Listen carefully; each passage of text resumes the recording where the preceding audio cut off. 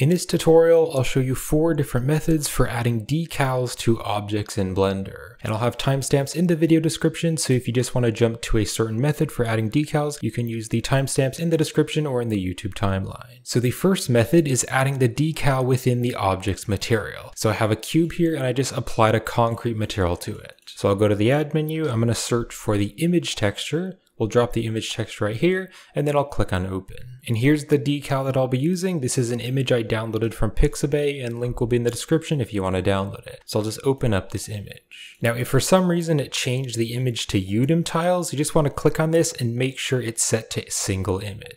Now this decal that I'm using has alpha transparency, so this way I can overlay it over the concrete texture and the concrete texture will show up underneath the texture. So to mix in the texture, I'm going to first mix into the base color, so I'll go to the add menu and I'm going to search for a mix color, which can be used to mix two colors together. So I'll put the mix color here after the base color. So what I'm going to do is take the color here and we'll put it into color A, and then this base color here, this is going to go into color B. So you can see it's now just mixing the two textures together, and if I drag the factor, it's only going to use the decal or it's only going to use the concrete.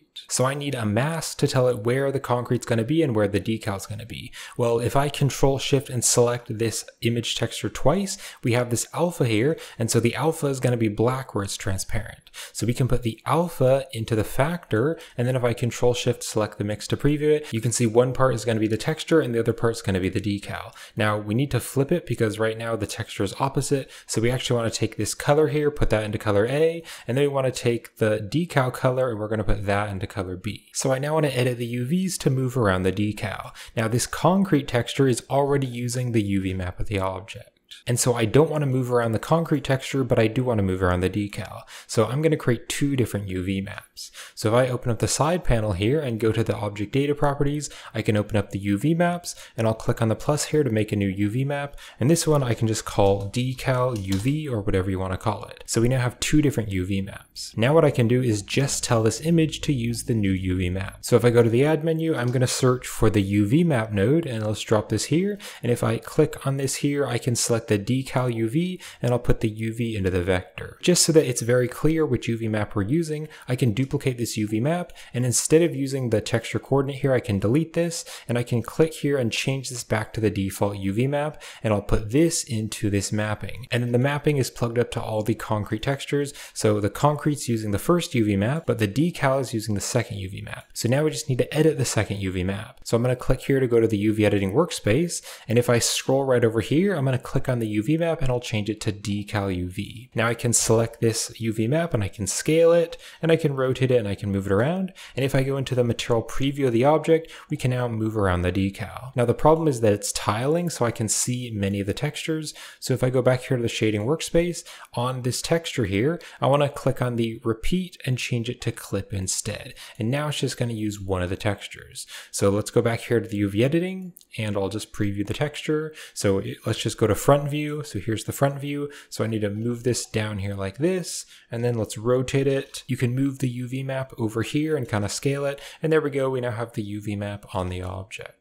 So that's how you mix it into the base color, and if you want to, you can also mix it into other maps, like the roughness map and the normal map. So let's say I'm going to put it into the roughness map, but I want to be more shiny where the decal is. So to do this, I can duplicate this mix node, so duplicate the mix color node and drop it here after the roughness. So then we're going to use the same alpha here, so the alpha is the black and white image, so it's going to be the mask, so we're going to put that into the factor. So now if I kind of look around here and look at the reflections, if I take color B and turn this up and down, you can see that's going to be the reflection of the decal. Because if I control shift and select the mix to preview it, here is the roughness map for the concrete. It's just kind of a white gray color. But then color B here is going to be the color for the roughness of just the decal. If I turn it down and make it more black, it's going to be more shiny. Or if I turn it up, it's going to be more rough. Now, one other thing I could do is I could mix it into the normal map and I could make it so that there isn't any bumpy on the decal. So to do this, let's move the normal map over and I'll select the mix color node and I'll duplicate it and drop it right down here.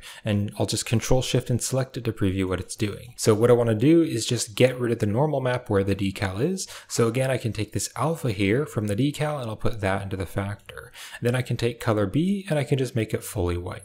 Now we're going to take the mix result and we're going to put that into the normal map. So just make sure it's going into the normal map. And if I control shift and select the normal map, now you can see the texture is really bumpy where the concrete is, but it's really smooth where the decal is. So if I control shift select the principled shader, you can see the decal is smooth even though the concrete is rough. Now if I want to, I could also add a very small bump along the corners of the decal. So to do this, I can search for a bump node and we'll put it here after the normal map. And then I can take the decal alpha and I'm going to put that into the height value of this bump and then the normal map is going into the normal. So now if you look here on the edges, if you like zoom in really close, you can see it looks like there's a tiny little bit of a bump there, and I can adjust that strength there with the bump strength. Now, if you zoom in really close, you can see that there's some pixels here. So to get rid of those pixels, what you can do is go back up here to the decal and you can take the linear type here and you can change it to cubic instead. And now you can see that doesn't look quite as pixelated. The edge there looks a bit more smooth. So if I zoom out kind of far away, you can see it looks like the decal is just popping out a little bit because the edge has a little bit of bump. And the second method for adding decals is using the shrink wrap modifier. So what I'll do is press Shift A, we'll go down to Image, and I'm going to add a mesh plane. And just select the decal and click on Import Images as Planes. So I'll move the decal over and I'm going to rotate the decal by 90 degrees, and then just kind of bring it back here and maybe scale it up. So now I want to shrink wrap this image here onto this sphere. Now in order to shrink wrap this and make it nice and smooth, I need to subdivide it. So I'll go into edit mode, I'll press Control E, and I'll click on subdivide, and then if I click right behind me on the subdivide settings, I'll turn up the number of cuts to maybe like a 60 or maybe even like a 90, something like that, so it's pretty detailed.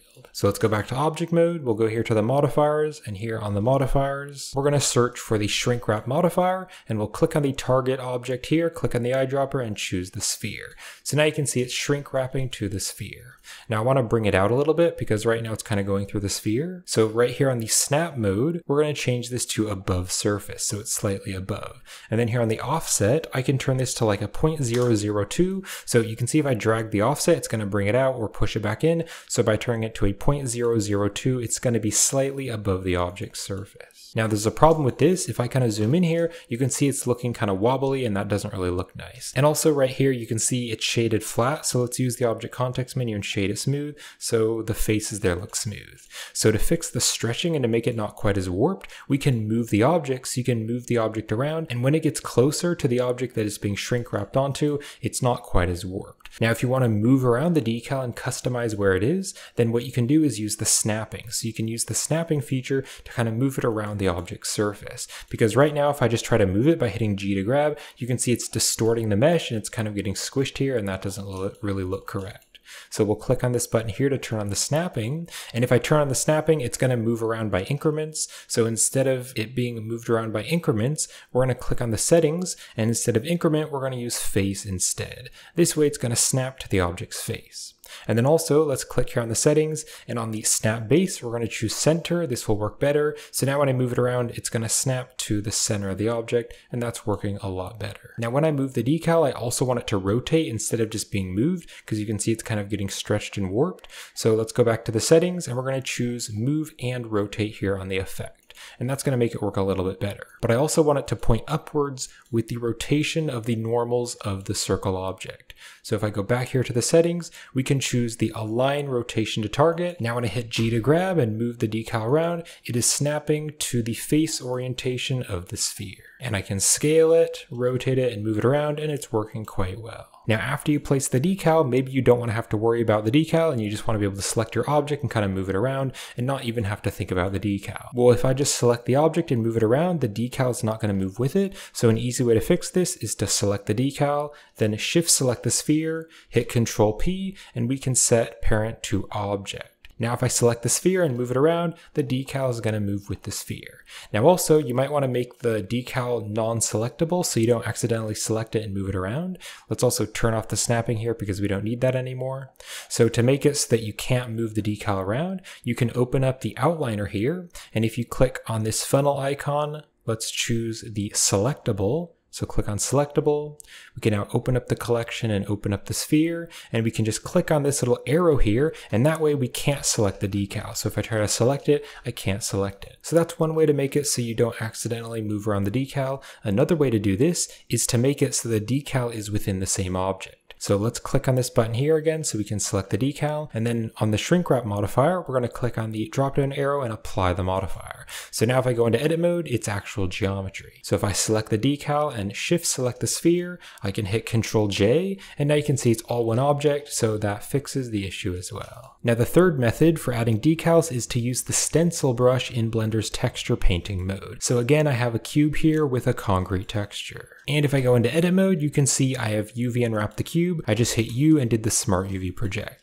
And because we're doing texture painting, it's very important that you UV unwrap this correctly. So make sure that you don't have any overlapping UVs. This looks pretty good. And also make sure that the texture isn't going out of the size of the texture. Because if it's too big, then it's going to be overlapping. Because when the texture ends down here, it's going to pop down here. We can now go over here to Blender's texture painting mode. And I'm going to close this panel here. If you hit the T key to open up the side panel, let's click here to use the draw brush. And then also, if you click right up here, make sure you are using the color map of your object because we want to paint this on top of the color map. So right over here, we have the brushes and I want to duplicate this to make a new brush for the decal. So we'll click on this button here to duplicate it. And if I click on the name, I'll just call it decal. So you can see we now have two different brushes. So now we can change the settings of the decal brush. Now right here on the color, make sure this is fully white. That is important when you're texture painting decals. Let's open up the texture here and I'll click on new to add a new texture. Then I'm going to click on this button here to go to the texturing panel and I'll click on open to open up a texture. I'll just locate to the fire alert texture and then open that image. And then also right here on the source, if it's set to UDIM tiles, you want to make sure you change it back to single image instead. So we'll now click right back here to the active tool and workspace settings. And I'm going to scroll down here to the texture type. And on the mapping here, we want to change it from tile to stencil instead. So now that it's set to stencil, if I move my mouse in the 3D viewport, you can see there's the stencil brush. Now, if I right click and drag, that is going to move the stencil around. If I shift right click and drag, that is going to scale it. And if I control right click and drag, that's going to rotate it.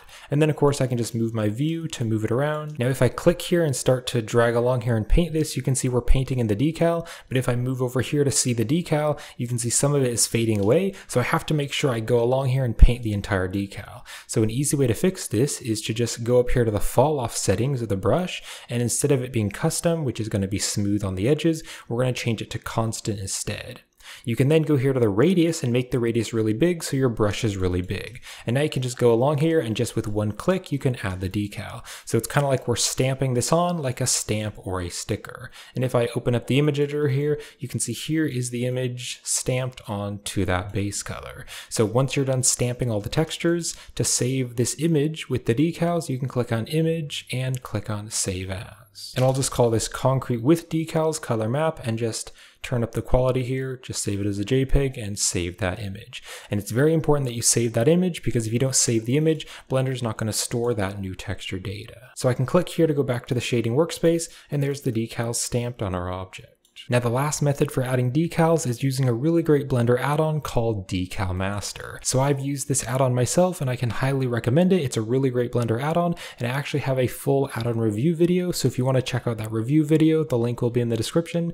And I also have an affiliate link to the add-on on the Blender market. So if you purchase the add-on through my link, then I'll earn a small commission. So that's a great way to help support this channel. So if you've purchased the add-on, once you've downloaded and installed the add-on, you can hit the N key to open up the side panel, you can scroll down here and click on the DCL Master for Decal Master. You can click on Add DCL Setup for Decal Setup, and then you can click on Start Projecting. So this will open up a new window in Blender, and you can see right behind me there's a bunch of different shortcuts, and you can also move this around, and there's going to be a placeholder decal. Now to add a decal or import a decal, you can press the F key. You can just locate to where you've saved your decals, so I'll click on this and just click on import decal, and then I can move the decal around by moving my view, and I can also hit S to scale the decal and R to rotate the decal. Now when I want to place the decal, I can hit the spacebar, and that's going to place the decal so I can easily just place it along like stamps or stickers. Then when I'm done placing the decal, I can just hit the escape key to go out of this full window, and I can go into the rendered viewport mode or the material preview to see the decal. Now I cover the add-on in much more detail in my full add-on review video, but you can see you can actually manage the decals after you add them. So I can click on these little arrows here and that's going to jump to the decals. I can delete a decal if I want to by clicking on the trash can right there, or I can also click on this eye here and that is going to hide the decal or show the decal. And then there's a bunch of different settings here. So I can change the location, the scale, and the rotation. I can also add some cool VFX nodes. And there's some other things like some damage, some tears or scratches, and a bunch of different things that I can do to the decal. I can also like change the decal opacity so I can make it less visible or more visible. And there's just a bunch of different settings that you can play around with. And I go into more detail in my full add-on review video. So again, definitely check that out with the link in the description if you're interested. So those are the four different methods for adding decals in Blender. So they all have different pros and cons, so you can really just use whichever one works best for your current project. So I hope you found this helpful, and thanks for watching.